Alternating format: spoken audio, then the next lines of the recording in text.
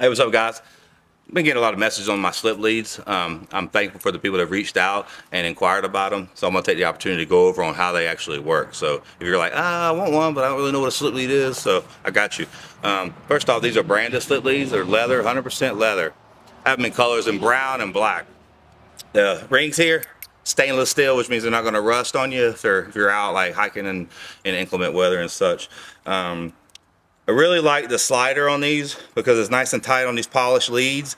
The ones you might see at the store, they have the big rope and then the, the stopper is not, it's like loose and doesn't really have any purpose if it has a loose stopper on it.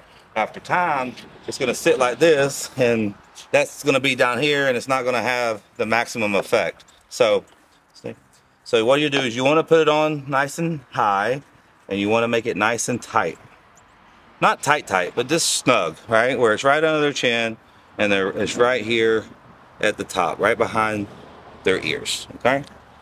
All right, now you have your slip lead on, so it's like, how do we use it, right?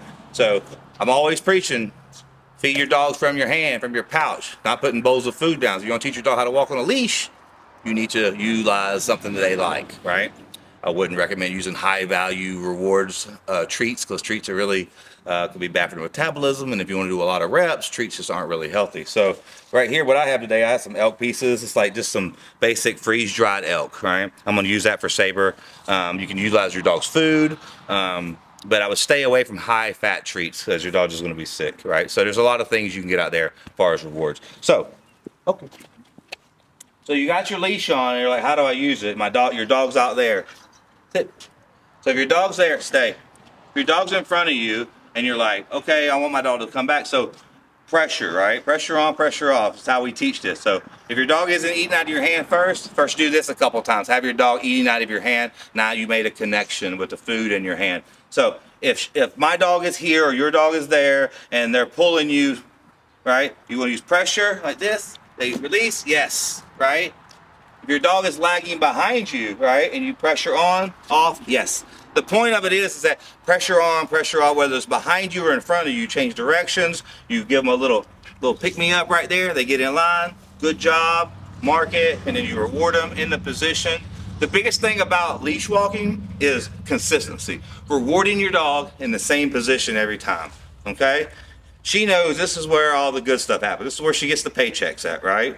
So she's gonna stay right here at my leg because this is where she's been paid at tons and tons and tons of times, right? So I'll reward her here. The more you reward your dog where you want them to be, the more they're gonna remain in that position, okay? But like I said, remember, you make sure you have a connection with your hand first and then use it like this. Good job, right? Whatever your marker would be, whether it's good, yes, or whatever, the more you pay your dog in this position, the more likely they're going to remain in that position. So shoot me a message if you want a slip lead. Like I said, they're five feet long, so they're not like a whole lot of extra material to get wrapped around your hands. You just simply reach and grab, boom, you're good to go. But I want to go over that because I've had a lot of questions about the slip leads and how they work. Um, in my opinion, everyone should have a slip lead. You know, collar and leash in one, you roll it up, put it in your pocket, good to go. I think collars are just for holding dog tags. So get you one of these slippies and you, I promise you won't regret it. So, all right, let's go, mama.